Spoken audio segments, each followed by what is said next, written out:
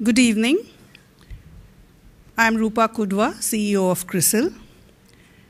My colleagues and I would like to extend a very warm welcome to all of you to the seminar on investment banking, The Road Ahead. Today's event has been organized by CRISIL Global Research and Analytics and Coalition, both of which are divisions of CRISIL. Let me briefly introduce CRISIL. CRISIL, our majority shareholder, is Standard & Poor's, and we are a global analytical company that began life 25 years ago as India's first credit rating agency. Indeed, today we continue to be India's largest and most credible rating agency, but our largest business today is that which is represented by Global Research and Analytics and Coalition, which work with global investment banks to provide a very rich and unique array of services.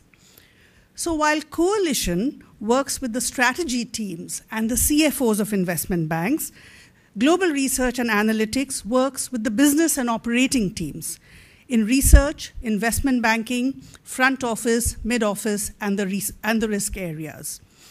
Coalition provides key decision makers in banks with unique insights on their competitors, covering revenues, headcount, cost, RWA, and return on equity, and also on their client wallets. Global Research and Analytics supports the execution agenda of banks in research and analytics as well as in risk management, supporting equity, fixed income, and credit research on the one hand, to CCAR, PRA related work, model building, and model validation on the other. So as you can see, Coalition's analytics helps banks work on the business, while global research and analytics helps them work in the business. Together, global research and analytics and coalition provide what is an exceptional combination of analytics and services to global investment banks. We work with over 20 investment banks, and that includes all the top 15 in the world.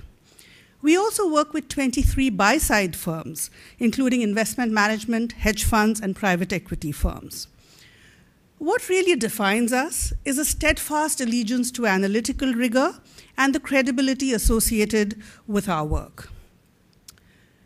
The richness of our experience and the depth of work we do with investment banks enables us to provide very deep insights, institutional insights, and perspectives Today's event will demonstrate how we bring the best of global research and analytics and coalition together to clients with analyses, insights, and perspectives that complement each other. Over the next 90 minutes, we will have three short presentations and a panel discussion. Let me set a very brief context. After the financial crisis of 2008, the global investment banking industry has been trying to reinvent itself in the face of declining revenues and profitability and the imperatives of efficient capital management. Therefore, banks are today taking decisions on which product lines to build upon and which product lines to jettison based on RWA or capital requirements.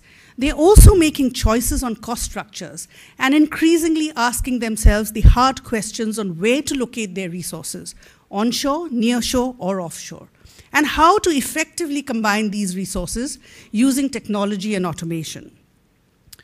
In addition, banks are finding cost effective ways to manage their regulatory requirements, such as by accessing global talent pools. One of the fastest growing areas of our work is helping US and UK banks with their CCAR and PRA work and model building, model validation processes. Today, we will discuss all these aspects and also the different choices that investment banks have. We will begin the proceedings with my colleague Stéphane Besson, providing an overview of the global investment banking industry, such as trends in revenue, profitability, and balance sheet, and how the banks are looking at their business models. Following that, my colleague Suprabha Dikshita will talk about how banks are looking at their operating models and transforming their operating models. By operating models, we mean people, processes, and technology to achieve sustainable cost structures. Next, Dr. James Lu will cover the role of models in efficient capital management. We will end our seminar with a panel discussion on the themes that we've presented.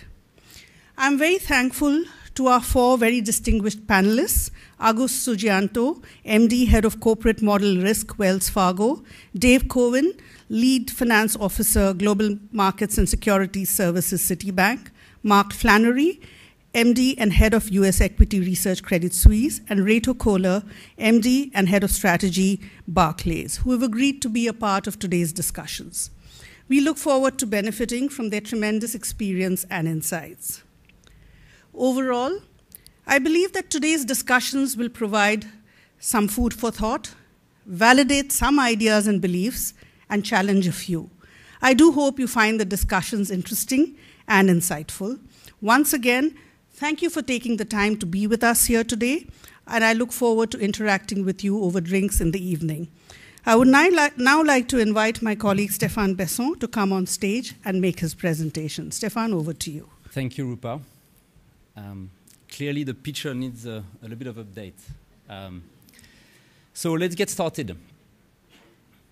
So in the next 15 minutes, we're going to look at uh, how the very challenging and current environment is forcing investment banks to make trade-offs, and how most of these banks have already started or will have to differentiate their strategies. More specifically, we're going to look at three areas. First, we're going to look at the performance of what we call coalition index, which is the top 10 global investment banks, along a few drivers, revenue, headcount, cost, operating margin, return on equity. Then we'll try to look at what it means for them in the near future. What is the new norm? what the industry will look like. And we'll uh, wrap up by looking at some of the choices or trade-offs they have to make in order to differentiate their strategy around asset class, product offering, and regional presence.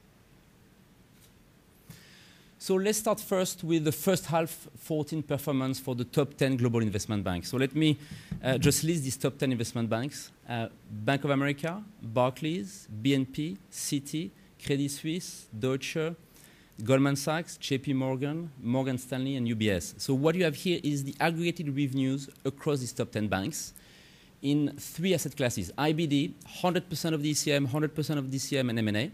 Equities, cash equities, prime services, equity derivatives. And FICC, which has the credit securitization rates, FX, and commodities. So clearly what you can see is the performance has been quite weak in the first uh, half of the year with a drop of 5% for the top line, mainly driven by a drop of 11% in FICC. Equities around minus 6% and IBD with a very strong growth. So now let's look a little bit at, what banks, how banks have reacted and what they are doing. First of all, let's look at the headcount picture. So what you have in front of you is the aggregated front office revenue producer for these top 10 investment banks. And what we define at Coalition, the front office revenue producers are sales, trading, structuring, and publishing research. So what you can see here is um, on the high of 2009 a great momentum and a great performance of 2009, banks continued to hire until the end of 2010. And then since 2010, there have been 14 consecutive quarters of headcount reduction, leading between the peak and now of a 20% headcount reduction at the top line. And as you can see, FICC has a very, had a very severe headcount reduction around almost 30%. Equities and IBD around 15%. So now the question is, banks have right-sized the front office operation. How has that translated in terms of cost saving? Has this, have these reduction translated into cost savings? So what we're going to look on the next slide is the total fully loaded cost of the investment banks across, across three categories front office compensation, which is the base and the bonus, other front office direct expenses, and finally overhead and all allocated costs from the group to the IB. So let's start first with the FICC picture. And what you can see here is, unfortunately, the cost savings have not been materialized. There was a, a 27% headcount reduction, which translated only in 12% of cost, overall cost for FICC space clearly two different trends. If you look at the dark blue, which is the front office compensation cost, a drop of 30%. Unfortunately, the other cost increased, and many around middle office and back office. Interestingly, if you add one-time litigation cost here, which at Coalition we exclude from analysis, but I've added that here, you can actually see that the FICC cost actually increased over the past four years. Switching to the equities picture, a very similar story. The headcount reduction has not translated into cost savings. Only 3% of costs were taken away in the equity space. Again, front office compensation, drastic reduction, 25%, but the rest were stable or increased. IBD, slightly different story, an increase in cost, in fact, on the back of a very strong performance for the past two years, uh, which drove front office compensation higher. So now we've looked at the revenue picture, we've looked at the cost picture. Let's try to bring the two together by looking at, at operating margin. First, FICC operating margin. As you can see, the current operating margin or the expected operating margin for FICC by year-end will be around 34% across these 10 banks, which is much lower than the 50% of 2010. In addition to the decrease, we can see the volatility of the operating margin in FICC.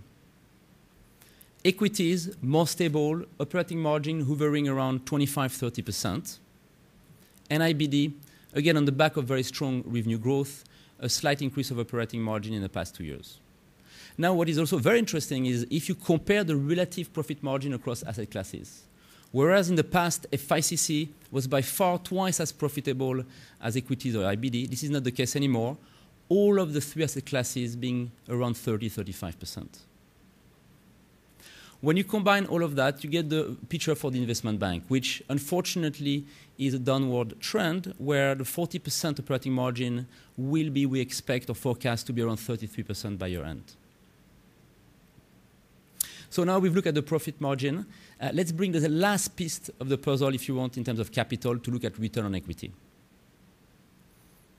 So on this slide again, it's across the top 10 investment bank, their average return on equity at the IB level. So the 12% is what these banks are reporting uh, in the public domain. We at Coalition make a series of adjustments on the revenue and the cost side. So our uh, baseline is 15%. The main difference is coming from this one-time litigation cost that we exclude from our analysis. So with that baseline in mind, 15%, let's first look at FICC. Unfortunately, FICC has a lower, a low uh, return on equity at 11%. Now, this hides actually a very different picture across different sub-products. You have the emerging market securitization relatively better because of very high profit versus G10 rates or G10 credit because of a very high capital consumption, much lower RW, um, return on equity. And a commodity is very low, which also explains why a lot of banks have started or will be exiting a lot of their commodities business, mainly on the physical side.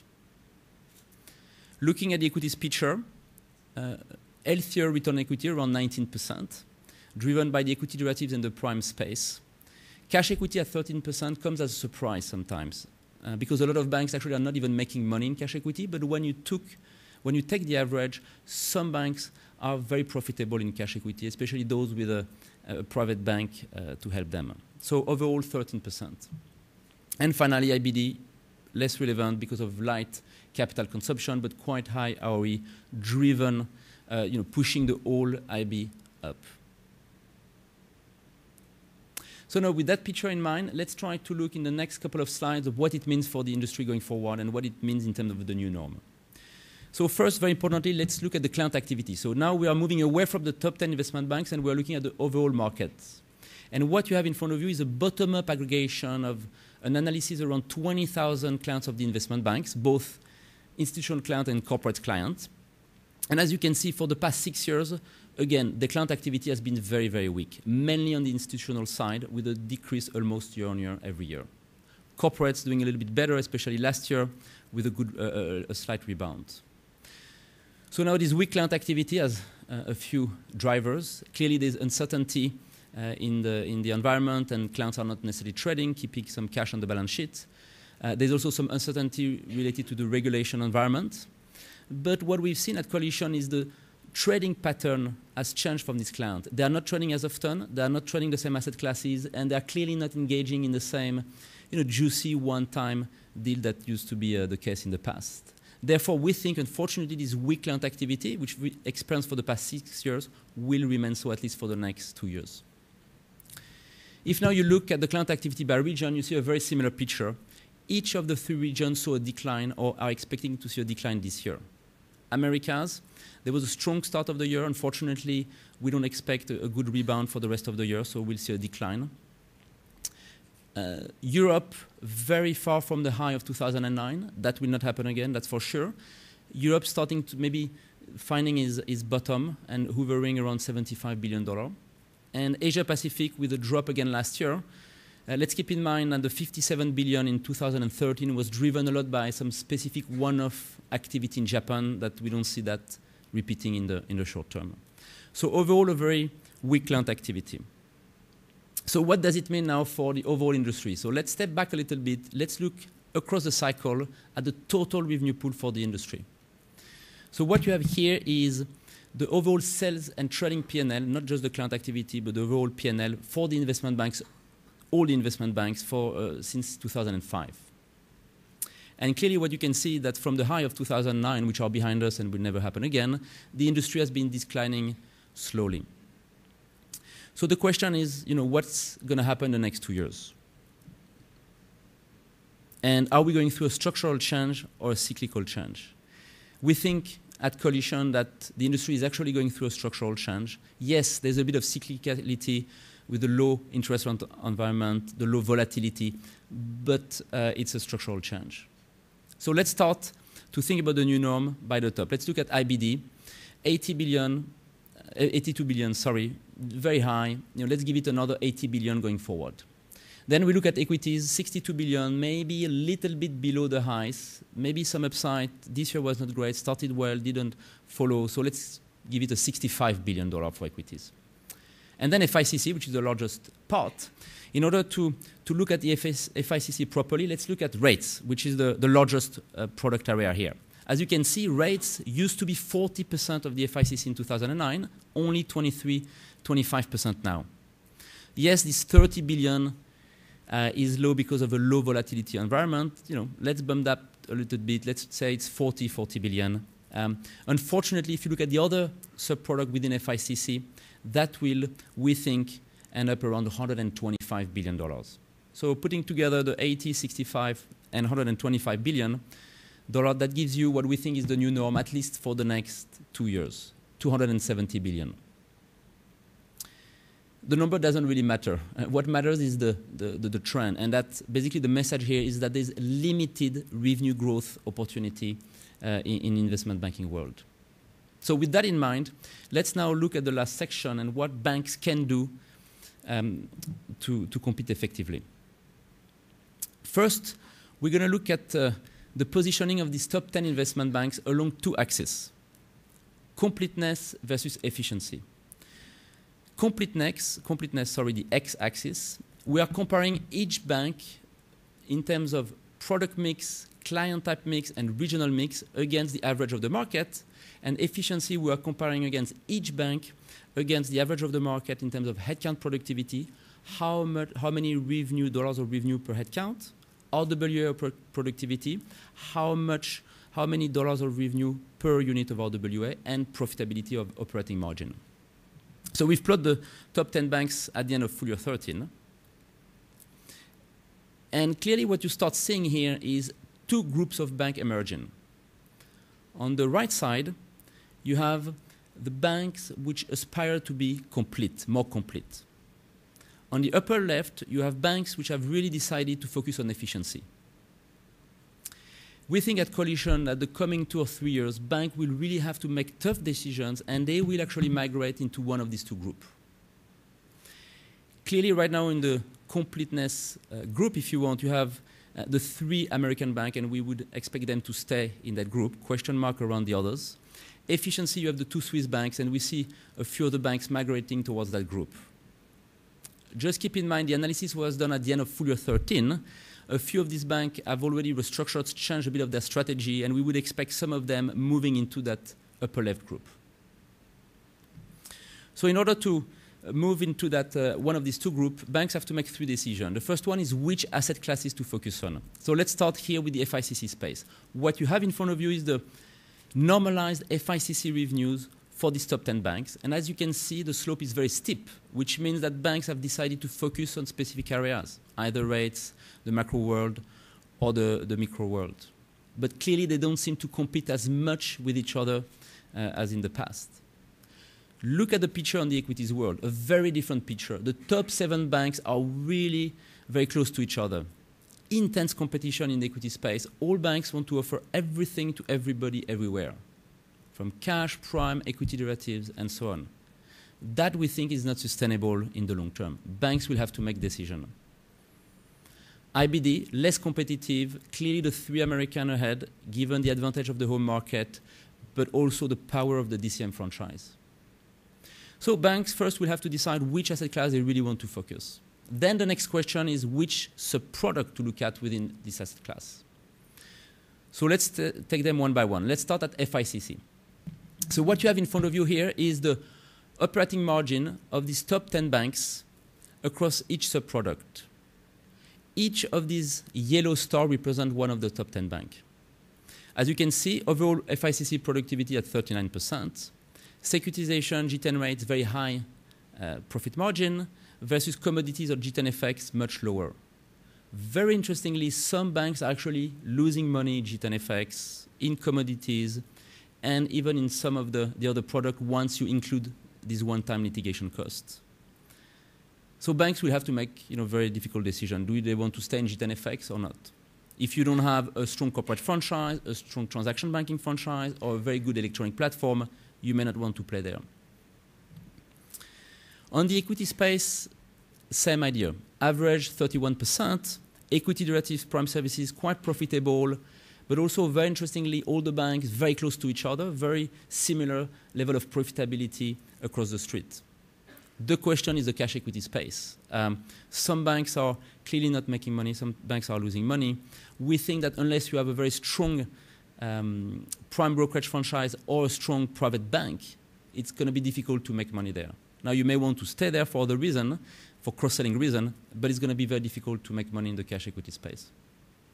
Finally, IBD, DCM, no surprise, extremely profitable. M&A and ECM together, question mark around uh, profitability here. A lot of banks are using that almost as a, as a loss leader. Um, and um, now keep in mind that the recent strength in revenue will improve the profitability here, but there are still some questions for a lot of banks. Now let's look at the last third dimension, which is the regional dimension.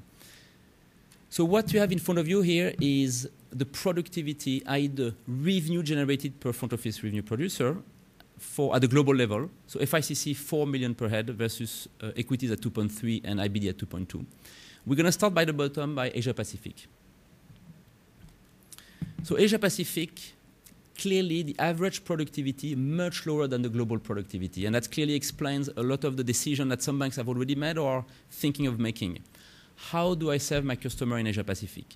Do I look at the onshore client only? Do I look at both the offshore and onshore? Uh, do I run a hub and spoke model, flying model, and so on? Very difficult question, but nobody is really making a lot of money uh, in Asia, especially with a very fierce competition from local players. EMEA, very good productivity uh, across FICC and equities, uh, even higher than at the global level. And here, interestingly, the banks are really close to each other, which means they are competing for the same business. They're very similar business model. And um, as we've seen in the past two years, the US banks are really pushing hard and trying to get market share, uh, market share in Europe, both on the FICC and uh, uh, the equity space. Finally, Americas, where clearly the IBD, you can see the IBD outlier. You cannot have an IBD franchise if you're not in, in the States or in Americas, definitely not. But interestingly, for FICC and equities, a dispersed set of uh, yellow uh, stars, which means that banks have different business models, are focusing on different strengths. Um, so overall, decision to be made around how you want, where you want to have your regional presence. So let me just wrap up with the, the key messages uh, that we've covered in the past 15 minutes. First, unfortunately, the medium-term revenue growth is limited. Structural changes are taking place, very weak client activity, pressure on profitability, especially on the non-front office activities. And my colleagues who probably will cover a lot of that, what banks can do to reinvent their operating model there. Low ROE for some product, not all product, for some product, which implies further cut of RWA or balance sheet. And my colleague James will, will cover a bit of that in the third section. But we think that investment banks going forward will really have to make a strategic choice. Do they want to be complete? But we think only a few banks will be able to be complete. Or will they want to really look at efficiency? They will therefore have to make decisions along this three dimension, which asset class to focus on, which product to offer, which re region to, uh, to play in. And we think that could help them to capture not revenue growth, because there's going to be limited revenue growth, but possibly return on equity growth. So with that in mind, I ask my uh, colleague Suprabha uh, to come and talk about the operating model. Thank you. Good afternoon. Stefan has just showed us how the financials of investment banks have changed significantly in the past few years, causing them to reassess their business models. In this session, I will be talking about how banks are transforming their operating models in response to the structural shifts that the industry is seeing. Let me begin by explaining what we mean by a bank's business model and an operating model. The business model of a bank is about a business a bank's decision on what to sell, whom to sell, and which regions to serve. The operating model question is about execution. It's about people, processes, and technology that serve the business. So, in this session, we will look at how banks are transforming their operating model to address long term profitability issues. So, why do banks need to transform their operating model? We have seen that the profitability of investment banks have been declining in the past few years and stands at mid single digits in comparison to the uh, historic highs of 2008. We believe this is because of three structural shifts that the industry is seeing. Number one, the impact of regulations. Number two, industry revenue is declining as such, as Stefan showed you. And number three, technology is changing the face of the industry and reducing differentiation levels and thereby impacting the pricing power. A couple of examples will make this clear. Because of the regulations that are governing OTC derivatives are changing, we are seeing that the FICC business, which has already shrunk in the past few years, is expected to shrink further. In fact, many banks are responding to this by shutting down their commodity desks and commodity derivative desks. On the technology side, while automated platforms and trading platforms are lowering transaction costs, at the same time, they're also impacting the uh, differentiation that the banks are able to create and thereby bringing down their pricing power. When we're talking about this, I'll also be quick to point that banks have indeed done a number of things in the past few years uh, in terms of restructuring initiatives, which are, such as reducing headcount and also exiting unviable businesses. However, the cost to income ratio continues to be very high, which means banks got to do much more. Across all the banks that we are working with, we are seeing two things happening. Firstly, banks are drawing up plans for restructuring their front office, middle office, as well as back office functions. And banks are reassessing the deployment of their people, processes, and technology. So now let's look at how banks are transforming their operating models. When it comes to front office, we see that the differentiating service quality is the key guiding factor. This is irrespective of whether a bank functions as a full service bank or restricts its activities to niche segments. We're seeing that banks are pursuing differentiation in areas such as research and data products, ease of execution of trades, and in collateral management. When, it, when we come to middle office, we see optimizing the cost structure is a key guiding factor. In the past five years, banks have made significant investments in the IT and risk management capabilities in the middle office area. Such investments have actually helped banks manage their regulations better, but it has come at the cost of profitability. Time has come for banks to take a hard look at their high fixed cost structure in the middle office area.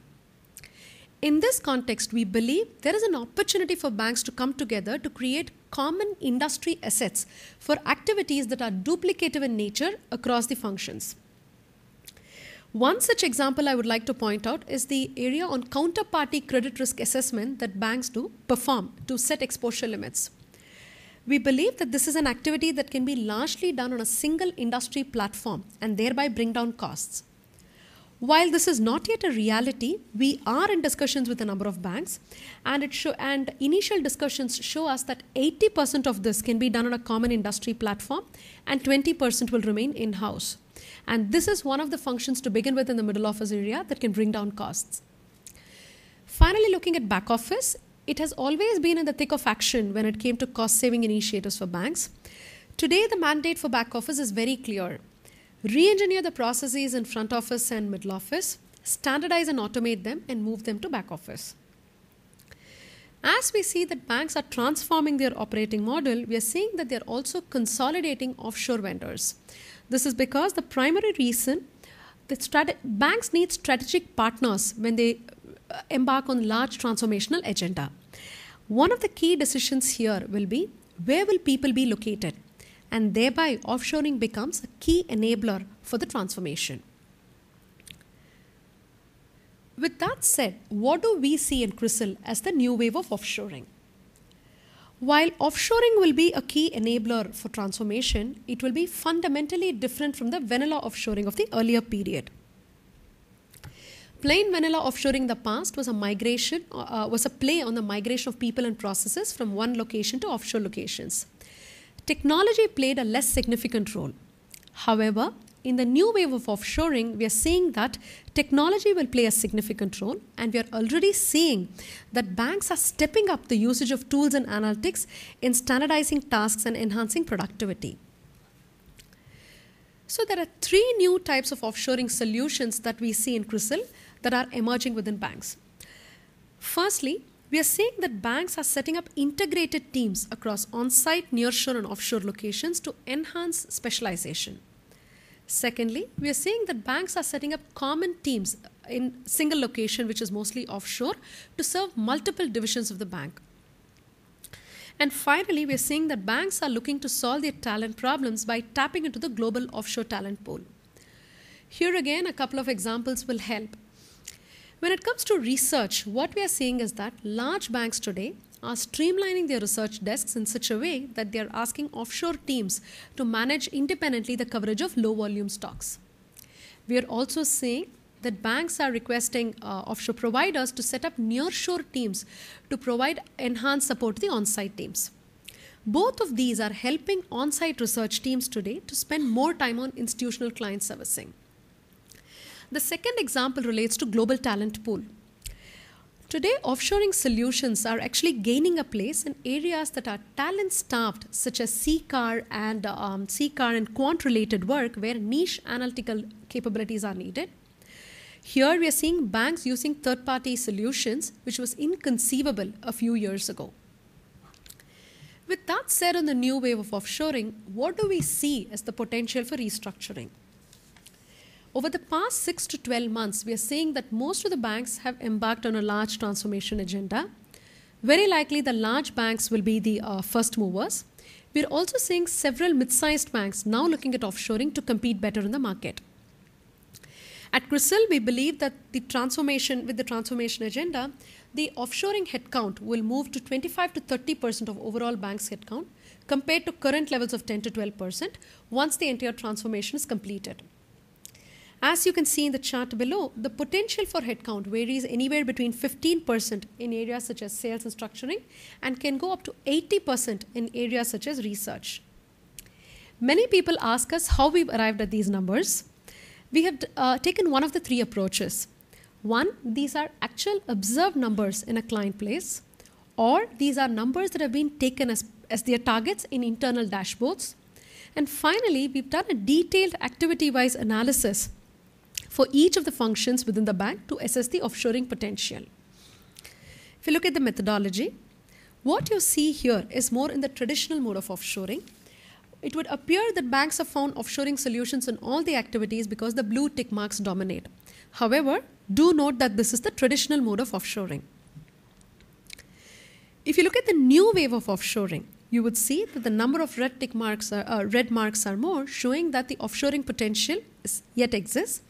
Many banks have already started doing it. What it shows is also that there's still a fair way to go before realizing the full offshoring potential in these activities. With that, I would now move on to an example of the COO and the CFO function within the banks. The COO and the CFO function today is in the forefront of the new offshoring solutions. The activities between the COO and the CFO functions are very similar, and uh, for instance, the data analysis, collection, uh, reporting, and monitoring, etc. We believe that integration of these two these two uh, uh activities in these two functions will actually help in saving costs significantly for the banks. The table that shows here, that you see here is actually the range of offshoring uh, offshore headcount that CRISIL has observed in the 12 banks that we work with. The min and the max refer to the range of offshoring levels, and the yellow dot right there shows the median. For example, if you look at one of it, which is the IB reference data, what we see is that offshoring can help provide efficient and cost effective management of data, uh, which includes key client data, uh, data on products, as well as contacts. Swift migration of these activities is possible. Technology will play a huge role, and we see a potential of 80 to 90% here, with most of the teams sitting offshore. In contrast, if you see yet another uh, function, which is the strategy and analytics, you see that the offshoring potential will be in the range of 50% here. And in these areas, while the analysis, actual analysis can be done uh, offshore, the actual decision making will reside onshore. Here we see teams being set up both in the near shore as well as in the on site teams. The COO and the CFO function is just one of the areas that is being transformed in the new offshoring uh, models. To summarize whatever we've seen in the last few minutes, the new wave of offshoring is characterized by one, newer functions that are being looked at for offshoring, two, greater use of technology to make offshoring more effective, three, accessing the global talent pool in talent starved areas like the regulatory compliance.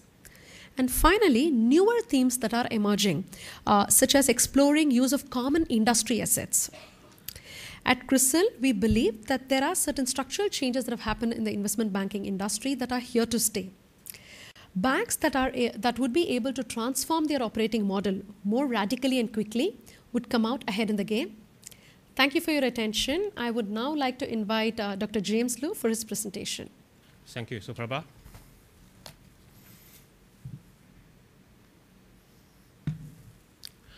Good evening. Uh, one of the key concepts in Basel and the stress testing is the risk-weighted assets, or RWA. There is a wide variation in RWA calculation and therefore the capital requirements. A significant reason of such variance comes from the variations in the models that different banks use. So therefore, my discussion tonight would be the role and the importance of modeling in efficient capital management. I should add that this is a very special, unique presentation that I have ever done in my career without using a single mathematical equations. And uh, of course, this is to make it simple.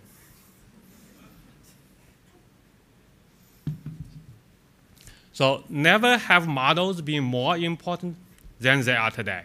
This is mainly because regulators have made models central in determining the capital requirements. And models are used for calculating RWA and therefore the capital requirements for stress testing. Models are also used for det determining the capital allocation as well. The models for RWA need to be very robust since different modeling approaches, for example, the modeling assumptions, the data inputs, the modeling theories, they all could lead to the variations in RWA and therefore the capital requirements.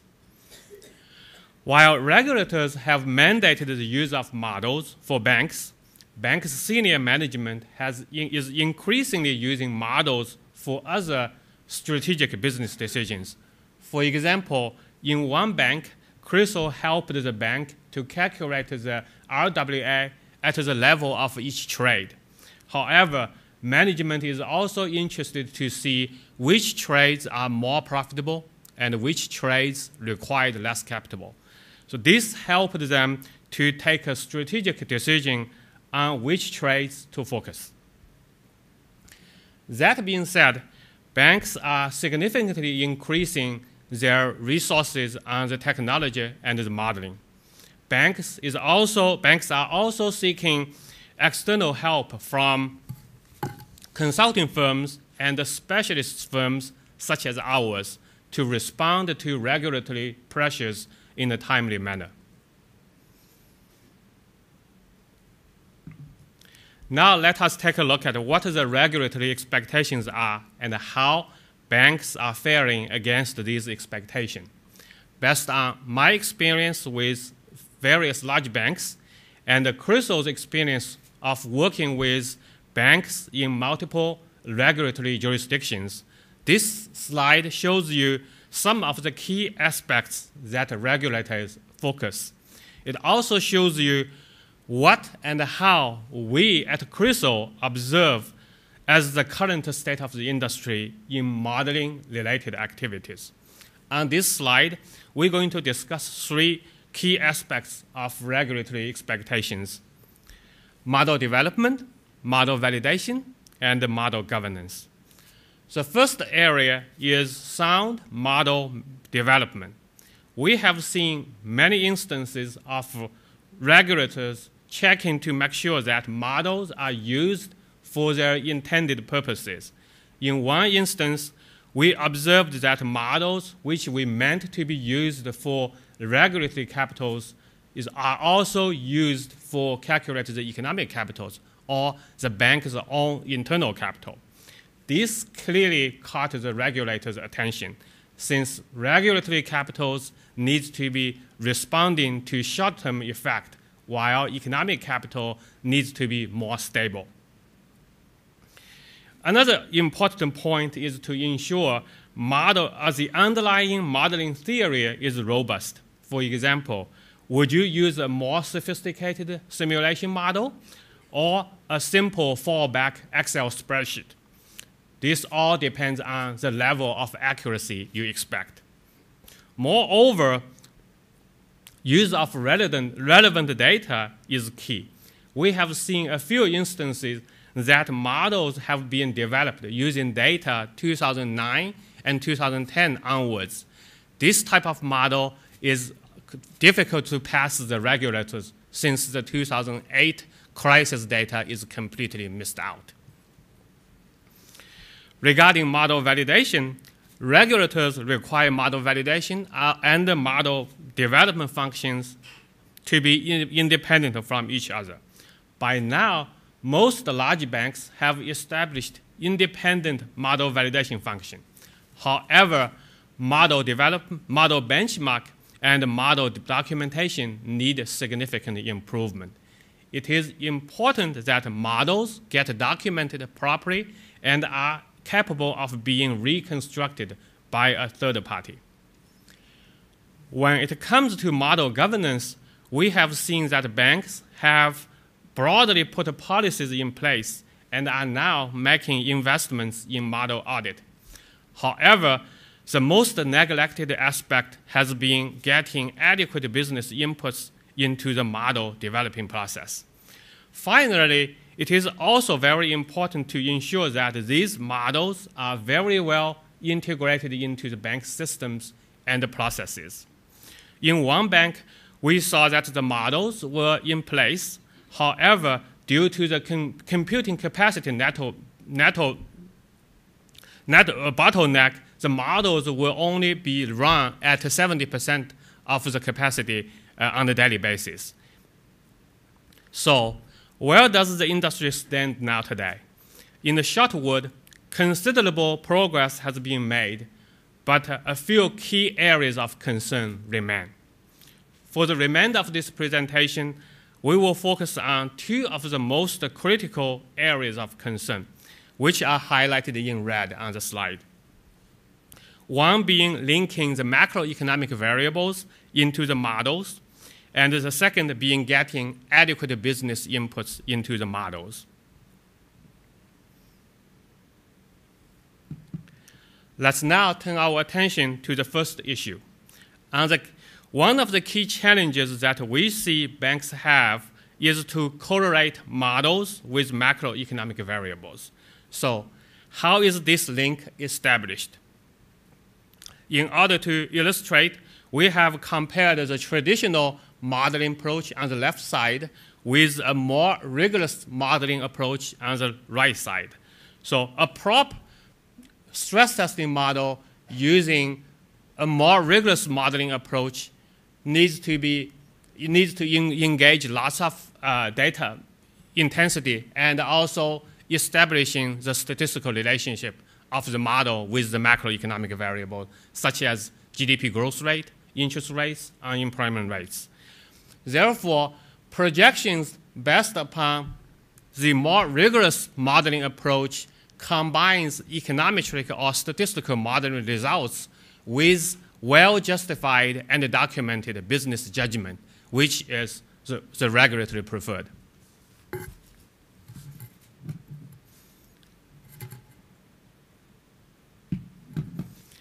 Since building proper stress testing models requires substantial investments in gathering data, modeling development, model validation, and documentation, it is important that banks link the modeling efforts to the relative importance of income and expense drivers if the objective is to model non-interest income behavior for a bank. So for example, in this chart, for a pure bank like Morgan Stanley on the far right side, 90% of overall income comes from the non-interest income. While for another bank on the left side, like RBS, this percentage is only 30%. So people could naturally ask what drives this drastic difference for these two banks.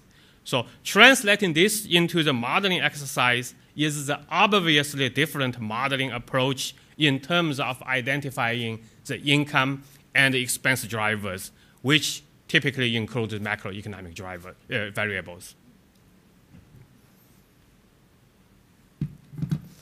Now let's talk about the second issue, getting adequate business inputs into the model development. CRISIL's experience suggests that, well, banks have a seamless cooperation across stakeholders such as front office, middle office, risk and technology, the capital calculation frameworks are better. CRISIL also believes that in the case of stress testing, scenarios obtained from front office insights are the most relevant. Similarly, for complex instruments like exotic derivatives, it is very important to tap into the knowledge of the traders. When it comes to middle office, banks need to ensure that better data availability and adequate investment in technology are in place. Finally, there is often a misconception that most complex models are the best models. In CRISIL's view, this is not strictly true. Use of, uh, use of the most appropriate model rather than the most complex model is of top importance. Indeed, one of the key debates in the industry right now is whether banks' internal models have become too complex and whether standardized models need to be emphasized much more. This concludes my presentation.